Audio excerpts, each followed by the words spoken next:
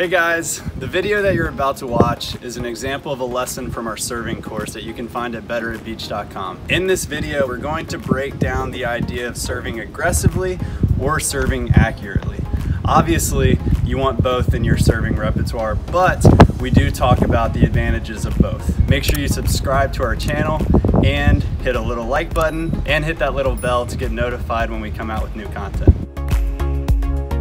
The big question that we get a lot is what's more important when you're serving? Having a powerful serve or having an accurate serve? I don't know if there's a correct answer for any specific player because I think it has more to do with you finding the correct ratio or the correct balance for you as a player. For instance, myself and Mark are going to have different ratios depending on the type of player that we are. I will, however, say that for beginners, I believe that it is crucial to your development as a player to start with accuracy.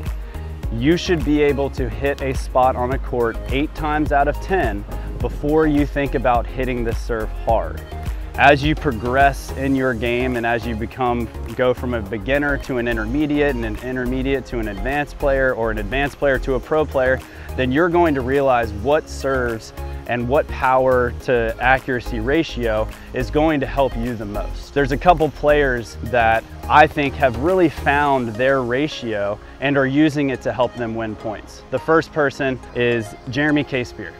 Jeremy Casebeer is known as a power player. When he goes back to serve, he is okay with missing serves because he wants to give himself the opportunity to score while hitting a jump serve.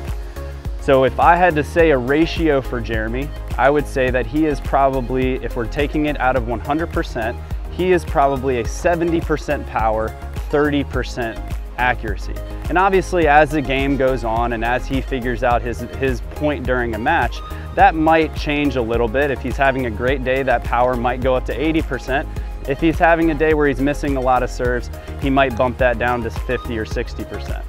But he does that in order to make himself the most valuable server that he can be. The next person that I thought about was Bill Kolinske. Bill Kolinske found the AVP and was able to find success very, very quickly. And the first thing that I've noticed about Bill is that he's not a flashy player. Hopefully he doesn't take offense to me saying that. But I would say that Bill focuses more on accuracy than he does power. It's very obvious that Bill is a very strategic player. He has conversations with his partner as he's walking back to serve almost every single time. And I think what he's doing is he's telling his partner, hey, I'm going to serve this because of this. A lot of times we don't see a lot of up and down serves, but for some reason, Bill has found a way to do this and find a lot of success. He has figured out a way to say, if I can put the ball two feet from the net and make that passer go up and make a pass and then get back and try to hit, that they're going to be in more trouble than if I hit this ball hard at them. So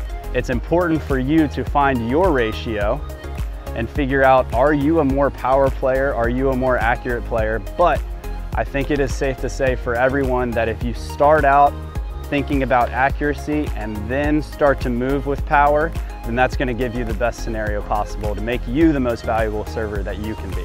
Please go to betteratbeach.com where you can check out the rest of our content. We have courses for serve receive, serving, attacking, setting, defense, and blocking. All of these can be found within our memberships where we have a rookie membership that is perfect for beginners trying to learn the game. We have a Rising Star membership that will let you dive in deeper to all of these different skill types. And we have a main draw membership that includes everything and also gives you access to professional coaches and players.